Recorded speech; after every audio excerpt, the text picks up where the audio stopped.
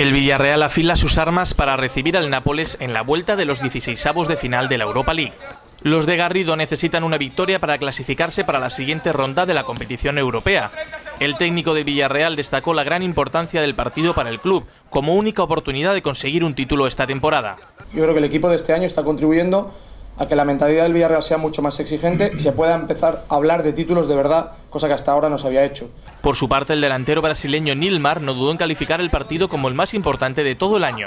Es el partido más importante creo de, de toda la temporada para nosotros, porque es una competición que, que sabemos que podemos llegar. Y disputar un título. Tanto Garrido como Nilmar coincidieron en pedir el apoyo de la afición, para lo que ambos han considerado como una final. Nosotros lo que queremos es que el factor campo juegue a nuestro favor, juegue a nuestro favor en cuanto al ambiente, en cuanto a la tensión, en cuanto a que nuestros jugadores se sientan alentados en cada momento. Entonces, en este sentido, yo creo que para la afición del Villarreal es un, un gran momento para demostrar pues, el, su apoyo al equipo y para demostrar que es una gran afición. Mañana un partido importante para que la afición esté a nuestro lado. Y que nos anima, ¿no? Como siempre, y que podemos salir con buen resultado. Villarreal y Nápoles se enfrentan en un duelo de todo o nada para seguir vivos en Europa.